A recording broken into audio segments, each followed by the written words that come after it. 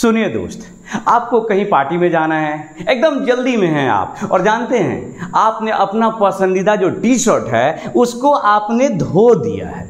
अब ये बेचारा भीगा हुआ, आप है टेंशन में। अब आप ऐसा करते हैं, बस एक छोटा सा बात हम जानना चाहते हैं। इसे सूखने के लिए आप इसे फैला कर रखेंगे, जल्दी सूखने के लिए, अथवा आप इसको मोड़ करके एक जगह रखेंगे। आप कहेंगे, अरे भैया, ये क्या बात हुई? बच्चा बच्चा जानता है कि जब इसको आप फैला करके रखेंगे तो ये जल्दी सूखेगा।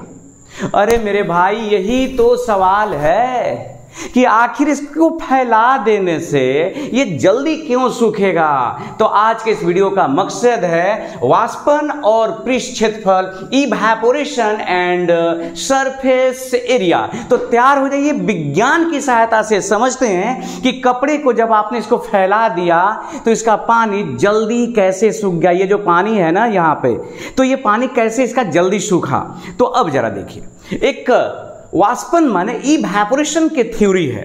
थ्योरी ये कहता है कि अगर आप पृष्ठीय क्षेत्रफल मतलब सरफेस एरिया बढ़ा दीजिएगा तो इवेपोरेशन का जो प्रोसेस है, माने वाष्पन मतलब इसमें से पानी निकल के वायुमंडल में जाने की जो प्रक्रिया है, वो बढ़ जाएगी। तो भाई साहब, आप जैसे इसको फैलाते हैं तो इसका पृष्ठ क्षेत्र क्या बढ़ गया जरा देखिए।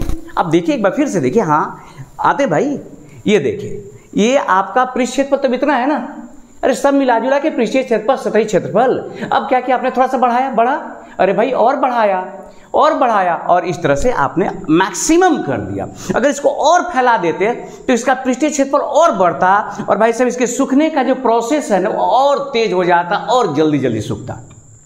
अब एक दूसरी बात समझने की कोशिश करते हैं। ये देखिए, हमारे पास ये, मान लीजिए, ये चौक है एक्चुअली मान लीजिए कि यहाँ पर पानी गिर गया।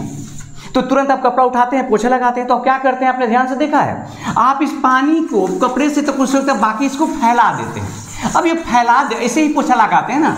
अब फैलाने से क्या हुआ? तो देखिए, जो पानी पहले इतना दूर में था, वो फैल के अब इतना दूर में हो गया। अब वो पानी का पृष्ठीय क्षेत्र बढ़ गया।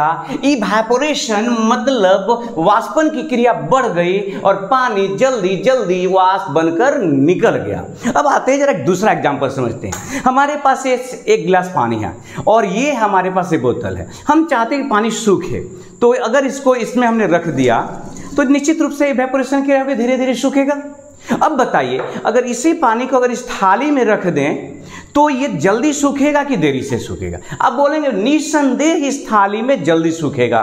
तो मेरे भाई, हम यही तो आपसे कहना चाह रहे हैं कि देखिए ना जरा, जब इस थाली में आ गया तो इसका जो पृष्ठीय क्षेत्रफल है, ये तो बढ़ गया। पृष्ठीय क्षेत्रफल बढ़ गया, मैंने सरफेस एरिया जब बढ़ा तो जो वेपोरेशन का जो प्रोसेस है, वाष्पन की जो क्रिया है, वो दे दनादन, दे दनान हो, दे दनादन हो रही है। इसका मतलब थाली में रखा हुआ पानी, इस गिलास या इस बोतल में रखे हुए पानी के तुलना में थोड़ा जल्द, थोड़ा क्या, बहुत जल्दी सूखेगा। तो इस तरह से आपको जो बात याद रखनी है, अपने एग्ज़ाम के लिए याद रखनी है, वो ये है कि ई भैपोरेशन का प्रोसेस मतलब वाष्पन की क्रिया को जो प्रभावित करने वाले बहुत सारे कारक हैं, उसमें से एक कारक है पृष्ठीय क्षेत्रफल सरफेस एरिया और रूल क्या कहता है? सरफेस एरिया बढ़ेगा इवेपोरेशन की क्रिया बढ़ेगी मतलब वाष्पन की क्रिया बढ़ेगी। मुझे यकीन है कि आपको समझ आया होगा, फिर भेंट होगी। अगले वीडियो में तब तक हँसते रहिए, मुस्कुराते रहिए और सदा हँसते, मुस्कुराते, खिलखिलाते रहिए। धन्यवाद।